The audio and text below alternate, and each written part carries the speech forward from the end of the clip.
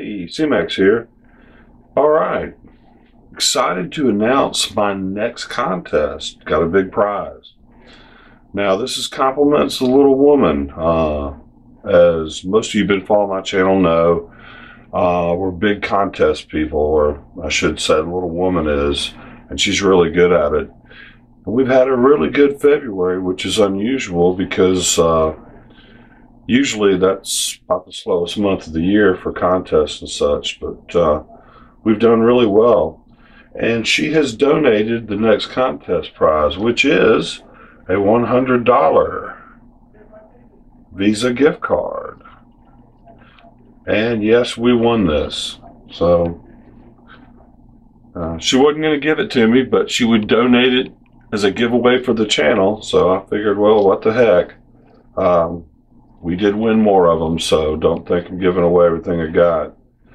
But uh, so that's the prize, and that's a good prize in anybody's book. Uh, as far as send, giving them away, it's easy to send, so that's always good and it's valuable. So, and it applies to everybody. So we're going to do the drawing on May 1st. So that gives another couple of months. Now, you got to be a subscriber and you need to be publicly shown so that I can see that you're a subscriber. You need to like the uh, this video and comment below. And please, in the comment, leave some kind of comment thanking the little woman uh, for donating such a great prize. Uh, otherwise, it would probably be another hat, which there's nothing wrong with. But uh, I think as anyone will know, this is a better better gift. Now, they're not going to all be this caliber uh, prizes. We're going to probably go back to hats or whatever uh, until we get something else that's really good to give away.